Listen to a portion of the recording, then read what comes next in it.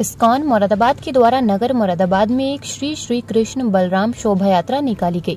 यह शोभा यात्रा दिल्ली रोड पर स्थित मधुरम हेरिटेज होटल से प्रारंभ होकर एमआईटी कॉलेज रामगंगा विहार पर समाप्त हुई इस यात्रा का प्रारंभ मधुरम हेरिटेज पर भगवान श्री श्री कृष्ण बलराम की स्वागत, उनकी आरती तथा कीर्तन एवं दीप प्रज्वलित करके किया गया मुख्य अतिथियों, विशिष्ट अतिथियों तथा अन्य सम्मानित आमंत्रित अतिथियों के द्वारा दीप प्रज्वलित करके इस श्री श्री कृष्ण बलराम शोभा यात्रा का औपचारिक प्रारंभ किया गया।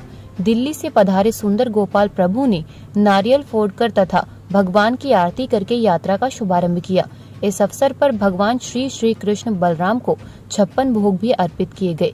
यात्रा प्रारंभ के अवसर पर सांस्कृतिक कार्यक्रमों का आयोजन भी किया गया। इस कार्यक्रम में बहुत बड़ी क्रेन के द्वारा भगवान को छप्पन भोग अर्पण किए गए। इस यात्रा में बहुत सारी झांकियाँ भी साथ में चल रही थी।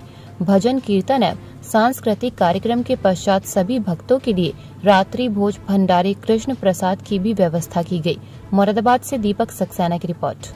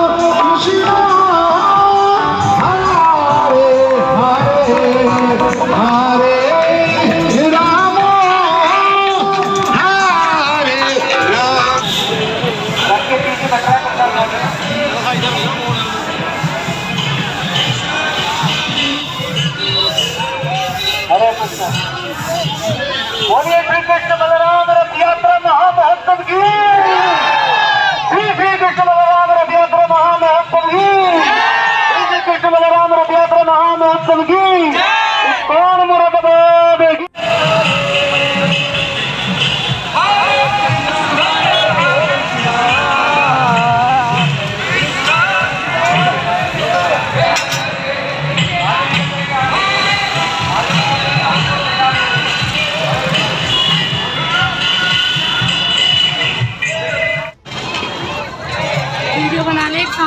वीडियो